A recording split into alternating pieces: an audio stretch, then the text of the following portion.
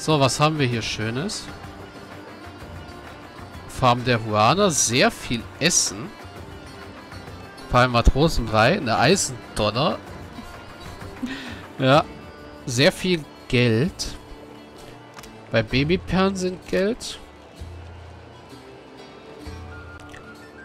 Und da ich ja schon maximales, äh, maximale Moral habe,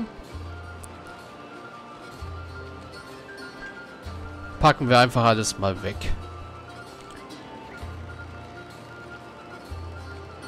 Das ist eine Lanze, eine zweihändige, okay.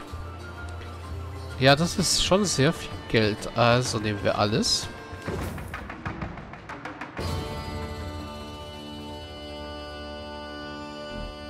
Und da haben wir uns bei der Gelegenheit auch gleich noch ein neues Kopfgeld verdient. Yay.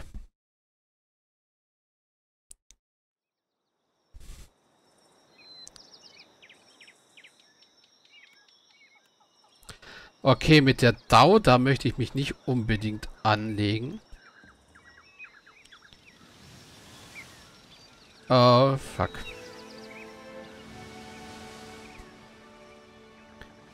Okay, wir konnten die DAO abhängen. Sehr gut.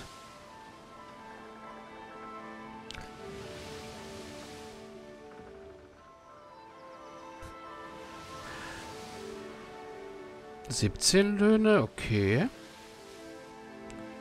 Oh, wahrscheinlich, weil die Leute einen Stufenaufstieg hatten. Was sagt denn so mein Schiff? Du bist jetzt ein Matrose, ein sehr guter. Ich bin jetzt schon Stufe 2 Kapitän. Du bist ein besserer Koch. Das sollte uns eigentlich, ja, minus 25% geben. Das heißt, wir bra brauchen Essen nicht so schnell.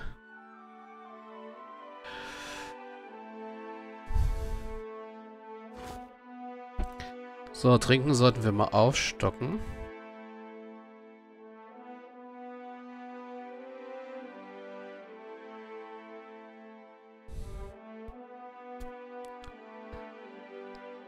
Ja, und dann später müssen wir irgendwann mal Obst reinpacken, um das Wasser auszugleichen, während wir wieder was anderes zum Trinken anbieten, damit die Moral nicht weiter sinkt. Weil meine Moral sollte ich schon so bei 90 haben.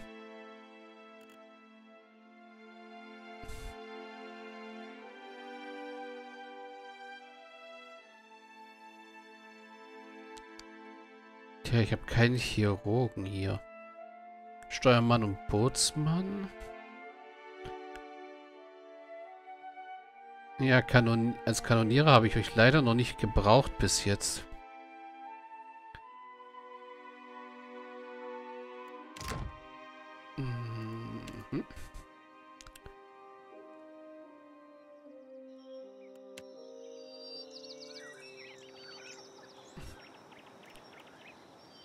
Ja, Maukotos Versteck. Ist das nicht die eine, die wir... Nee, Tahe.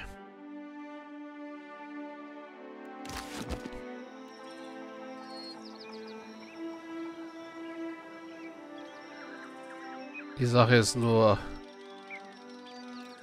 Wo finden wir Tahe?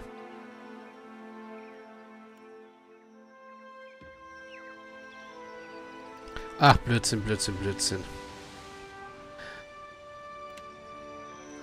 Ich will doch nach Hasongo den Jungen abliefern.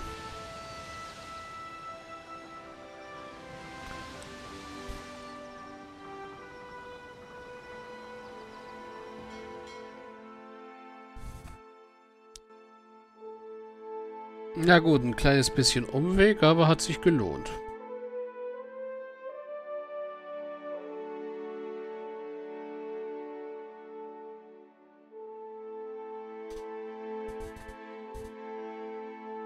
Wir haben nämlich so ein Kopfgeld einstreichen können. Erwartungsvoll blickt Edda hoch, als Bern die Defiant ohne ein Wort irgendjemand, zu irgendjemandem verlässt. Bern marschiert davon, starrt dabei mit seinen eingesunkenen Armen stur geradeaus. Er verlangsamt seinen Schritt auch nicht, als er an Edda vorbeikommt. Bernd. Der Junge ist bereits einige Schritte gegangen, bevor er überhaupt irgendwas gehört zu haben scheint. Als er endlich stehen bleibt, dreht er sich nicht sofort nach Edda um, als wollte er sich allen Möglichkeiten offen halten. Ver es vergeht ein Augenblick, dann wendet er sich doch um mit einem hartnäckigen Zögern. Ich bin mir nicht sicher, worüber du sprechen willst.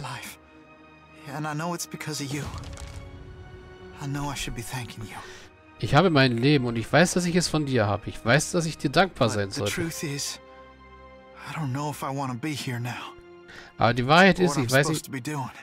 Entschuldigung. Aber die Wahrheit ist, dass ich nicht weiß, ob ich wirklich hier sein will oder was ich tun sollte. Und ich weiß immer noch nicht, was ich Eotas sagen soll, wenn ich ihn eines Tages treffe.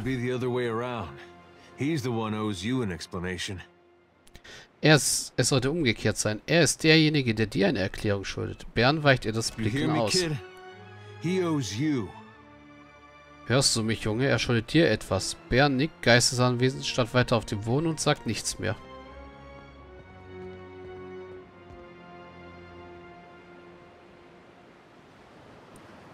Jo, Level Up für Tekeo. Tiefblick und Arcana von mir aus erstmal. Das haben wir schon.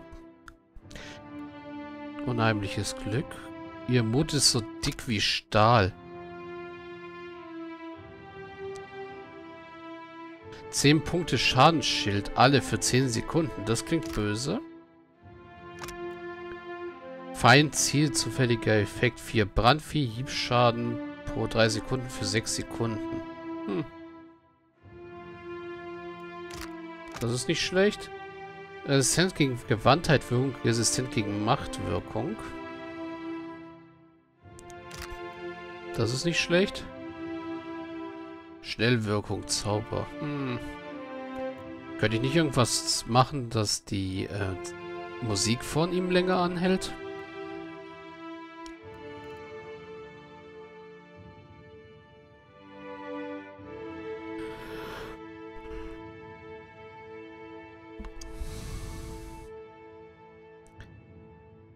Ermächtigung erhöhen. Töte die Bestie mit all deiner Stärke. Hm.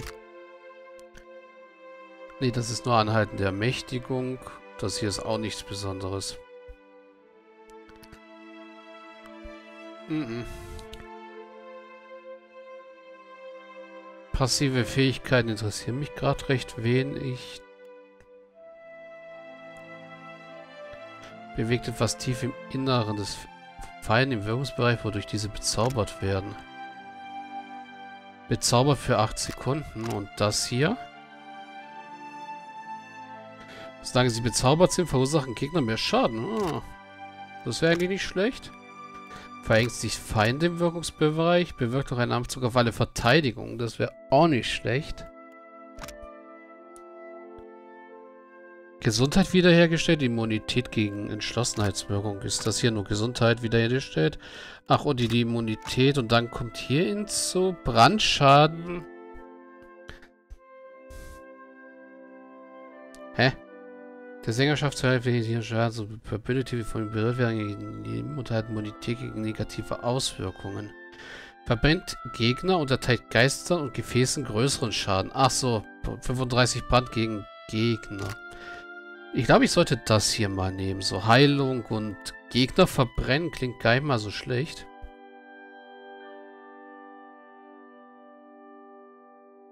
Oder ich könnte Gegner kontrollieren. Das klingt eigentlich besser. Einen Gegner kontrollieren zu können.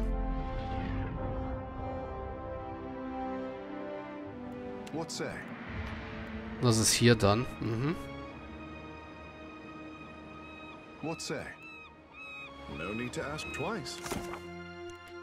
So, jetzt haben wir die erleucht der erleuchtende Pfad abgeschlossen. Wir konnten Bären davon überzeugen, das Gift, welches die anderen Mitglieder seiner Sekte getrunken hat, nicht zu trinken. Er hat die Strapazen überlebt, doch er scheint nicht davon überzeugt zu sein, dass dies zu seinem Besten war. Ja. Ah, ich muss jetzt wirklich mal gucken, ob es sich nicht doch lohnt, noch mal über Port Maye zu fahren und dieses andere Kopfgeld zu holen. Damit wir das auch noch haben.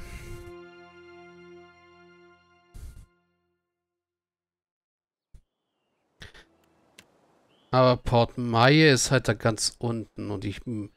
Die Weltskipperin ist da. Da ist ein Todesfeuerhändler, da ist ein Todesfeuerhändler. Sklavenhändler sind halt scheiße. Besondere Orte. Vor Todeslicht, Aschgrauer Rachen, da ist Tikawara, Botenwacht. Stauholz. Hm. Ich habe noch so verdammt viel zu erkunden hier. Oh. Vor allem das alles zu erkunden könnte eine ganze Weile dauern.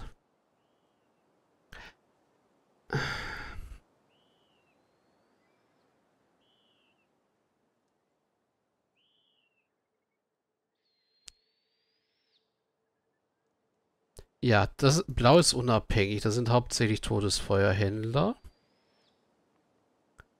Bei denen wir vielleicht Sachen kaufen könnten. Dämmerungssterne ist gar nichts zu sehen. Huana auch nicht. Prinzipi, sie ist ein Prinzipi-Schiff. Sklavenhändler, äh, also Königliche Todesfeuergesellschaft sind zwei gerade. Und die Valianische Handelsgesellschaft hat auch gerade ein Schiff hier unterwegs. Nebenbei, das hat mir aber jetzt nicht im Ruf oder so geschadet, oder? Dass ich gerade ein Huana-Schiff versenkt habe. Ah, Nekataka und Huana scheinen eh zwei verschiedene Paar Stiefel zu sein.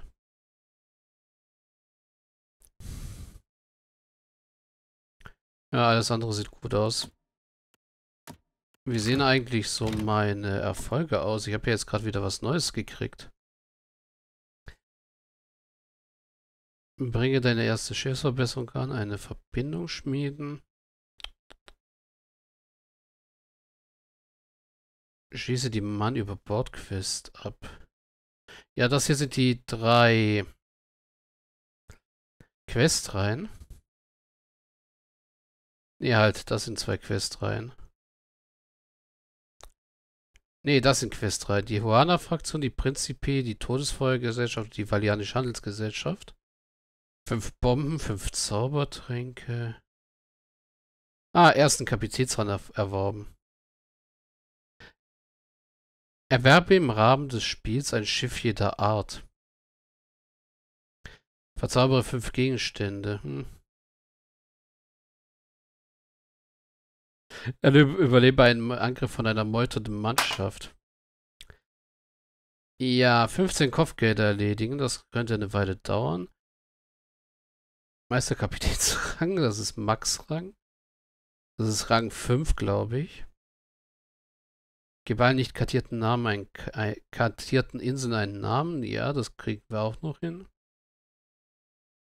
Nemok der Verschlinger, Stelle 5 Fallen. Fallen habe ich ja schon ein paar gestellt. Alle Helfer habe ich noch nicht angeworben. Ja gut, jetzt wollen wir aber erstmal gucken, dass wir wieder nach ähm, äh, ich komme garantiert nochmal hier runter. Ich muss ja nach Fort Todeslicht sowieso.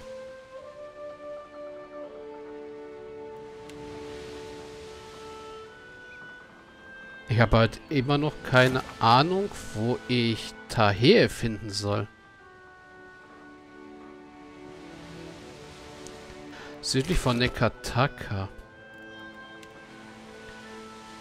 Ja gut, wir können mal kurz hier in den Süden segeln. Minus 10 E, minus 6 Reis.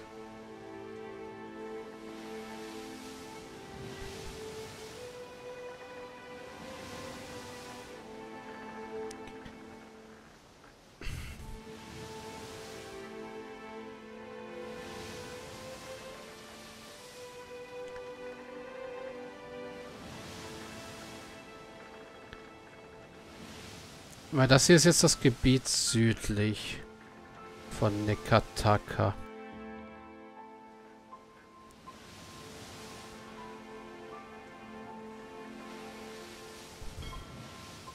Aber ich habe ehrlich gesagt nicht das Gefühl, dass sie sich bei den Sumpflaurern versteckt.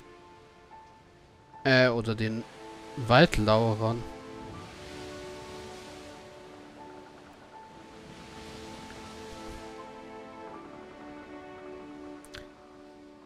Ja, was hat denn der Händler zu verkaufen? Matrosenbrei. Hm. Aber nee, ich nehme das Ale ab. Medizinische Vorräte, Reparaturvorräte, das brauche ich gerade alles nicht. Das Ale nehme ich ihm ab und den Schleimaal nehme ich ihm ab. Die Grog könnte ich ihm noch abnehmen, aber nee, gerade nicht. So, Dankeschön. Das heißt, das Ale kommt auch wieder.